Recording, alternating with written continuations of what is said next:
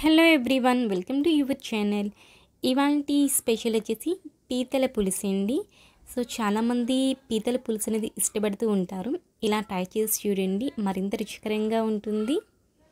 పీతలు వచ్చేసి నేను ఒక కేజీ దాకా తీసుకున్నాను దీన్ని శుభ్రపరచుకున్నానండి. నెక్స్ట్ ఇందులోకి పసుపు అర చెంచా టేస్టీ సరిపడేగా సాల్ట్ నెక్స్ట్ చిల్లీ పౌడర్ అని యాడ్ చేసుకోండి. సో వన్ టేబుల్ స్పూన్ దాకా వేసుకోవాలి. అలానే మిరియాల పొడి half teaspoon oil three teaspoons. Next వచ్చేసి ఇందులో నేను అల్లం వెల్లుల్లి పేస్ట్ అనేది వన్ టేబుల్ స్పూన్ దాకా యాడ్ చేస్తున్నాను. ఇప్పుడు ఈ యొక్క పీతలకి చక్కగా ఈ మసాలా అంతా పట్టే విధంగా కలిపేసుకొని దీన్ని యొక్క పదిహేను నిమిషాల పాటు పక్కన పెట్టేసుకుందాం.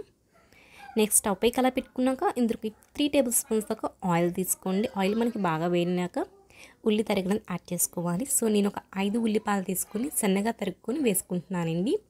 అలానే కొంచెం సాల్ట్ అనేది వేసి వేయించుకోండి. ఇలా సాల్ట్ అనేది ఆనియన్స్ వేయించేటప్పుడు వేసుకోవడం వల్ల మనకి ఆనియన్స్ అనేవి త్వరగా ఫ్రై అవుతాయి. అయితే మనకి కంప్లీట్గా అవి బ్రౌనిష్ కలర్ వచ్చే విధంగా వేయించుకోవాలి. ఇలా వేయించుకుంటేనే ఈ యొక్క పులుసు అనేది చాలా బాగుంటుంది.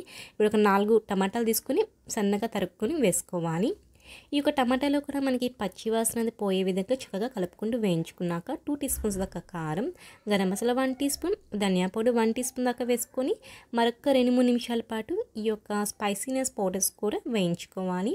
చూడండి ఇలా మనకి పూర్తిగా పచ్చి వాసన పోయి చక్కగా వేగిపోయినాక మనం ఉప్పు కారం మసాలా కలిపి పెట్టుకున్నటువంటి ఈ యొక్క పీతల్ని ఇందులోకి వేసేసుకుందాం. ఇలా చక్కగా వేసేసుకున్నాక ఉల్లి టమాటా అనేది పీతలకు పట్టే విధంగా చక్కగా కలుపుకుంటూ మరొక రెండు మూడు నిమిషాల పాటు దీన్ని వేయించుకోవాలండి. ఇప్పుడు ఇందులోకి నేను చింతపండు వాటర్ యాడ్ చేస్తున్నాను. అయితే నేను ఒక యాభై గ్రాముల దాకా చింతపండు తీసుకొని దాన్ని వాటర్లో నానబెట్టుకొని ఆ వాటర్ అన్నది నేను ఒక మూడు కప్పులు వచ్చే విధంగా వేసుకుంటున్నాను. ఇప్పుడు మీడియం ఫ్లేమ్ మీద ఒక పదిహేను నిమిషాల పడడం మనం దీన్ని ఉడికించుకోవాలి. చూడండి పదిహేను నిమిషాల తర్వాత మనకి ఇలా పులుసు అనేది నూనె పైకి తేలుతూ చక్కగా దగ్గర పడిపోయి ఉంటుందండి. కలర్ఫుల్గా చాలా బాగుంది కదా.